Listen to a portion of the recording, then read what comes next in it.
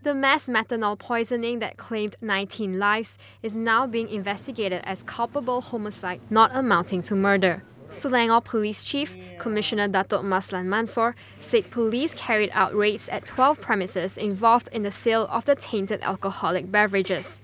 Seven shop workers were detained.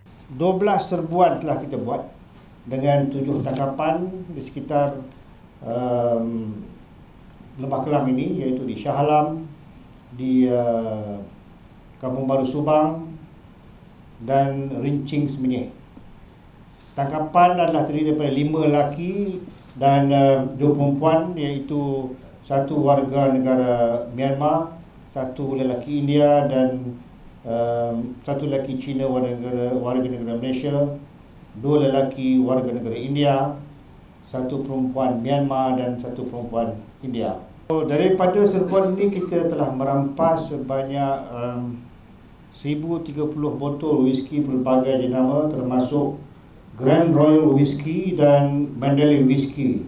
Sementara itu sebanyak 1767 tin bir berbagai jenama termasuk Volcano dan Kingfisher telah rampas.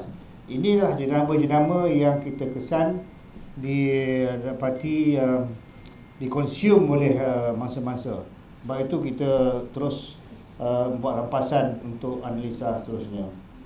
Commissioner Maslan did not deny nor confirm if the shops had the same supplier, but said that the police would investigate all angles. 24 victims remain in hospital, while nine have been discharged.